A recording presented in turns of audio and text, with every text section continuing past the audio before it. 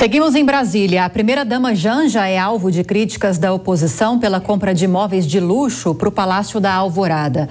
Berenice Leite com as informações para gente. Berenice, boa noite.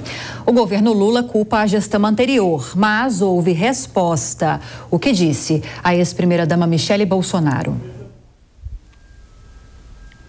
Oi, Lívia. Boa noite a você, a todos que nos acompanham. Olha, na verdade, a primeira-dama Janja foi alvo de críticas da ex-primeira-dama, que rebateu, na verdade, acusações de que teriam sumido aí parte, teria sumido parte do mobiliário lá do Palácio do Alvorada. Né? Ontem, a ex-primeira-dama Michele Bolsonaro estava em suas redes sociais, aquela caixinha de perguntas né, que todo mundo usa, e ela foi questionada por um seguidor, né, onde estaria aí a, a mobília, os móveis do Palácio da Alvorada que teriam sumido.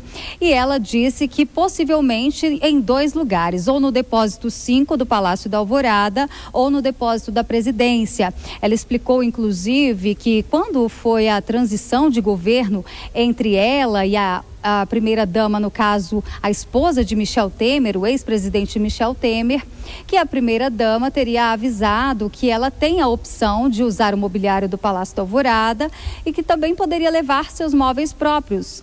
E que ela fez isso. Em 2019, inclusive, chegou a mudança né, do ex-presidente Jair Bolsonaro no Palácio da Alvorada e foi quando ela substituiu, segundo Michele, os móveis que são lá patrimônio, né, patrimônio da presidência da República e colocou colocou os móveis que eram, que são da casa dela, na verdade, do Rio de Janeiro. Chegou, portanto, em 2019 e foi nessa época que ela colocou, então, os móveis do Palácio da Alvorada dentro desses depósitos. Portanto, ela disse que está lá e, inclusive, ela falou que existe um setor, né, um setor uh, justamente de patrimônios que fiscaliza e controla tudo que entra e que sai, que as coisas não são como estão dizendo. Vamos acompanhar um trecho do que disse Michele Bolsonaro.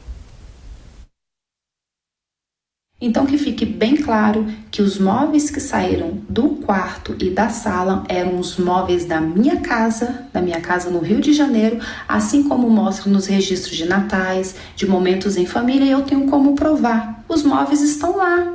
Só que, infelizmente, os que pregam a humildade, a simplicidade, não querem viver no simples, tá? Zombando e brincando com o dinheiro do contribuinte. E olha, quando a ex-primeira-dama fala em zombar, né, em brincar com o dinheiro do contribuinte, ela fez uma referência à compra recente do governo federal para mobílias tanto na presidência quanto também ali no Palácio da Alvorada. São cerca de 11 imóveis que custaram ao todo 379 mil reais e não foi feito um processo de licitação. É por isso que a ex-primeira-dama Michele Bolsonaro fala ainda que seria necessário fazer então uma CPI para investigar a questão dos móveis do Alvorada. Ao fazer essa referência, ela também quis dizer que não tem nada a esconder. Volto com vocês, Lívia. Obrigada pelas informações, Berenice Leite. Agora, Nelson Kobayashi. Dessa confusão toda, chegou-se à conclusão de que é possível, então, que parte desse mobiliário, que, segundo a atual primeira-dama, teria sumido, deve estar em algum lugar, em algum depósito, isso segundo a ex-primeira-dama Michele Bolsonaro, que aproveitou também para alfinetar o casal presidencial falando sobre humildade. Nós trouxemos informações aqui no jornal Jovem Pan da quantia elevada que o presidente e a primeira-dama têm se, se desprendido para comprar móveis novos para o Palácio da Alvorada. É aquela velha história, aquela velha máxima, Nelson Kobayashi: quem não tem teto de vidro que atire a primeira pedra? Pois é, né, Lívia? Mas enquanto tudo isso fica só na base da conversa, da, do boato, né? A gente vê aí uma conversa que é o tal do disse que me disse.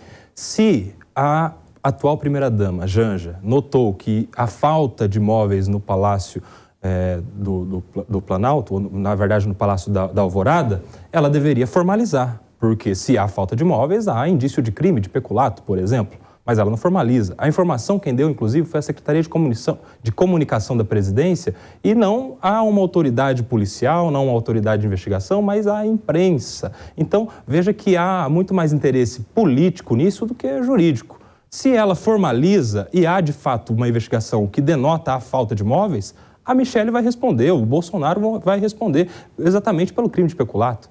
Mas se ela formaliza e há, depois na investigação, a conclusão de que não há falta dos móveis, a Janja é que responde por uma denunciação caluniosa. Então falta ela coragem de formalizar. Ela não tem que levar para a imprensa, tem que levar para a polícia.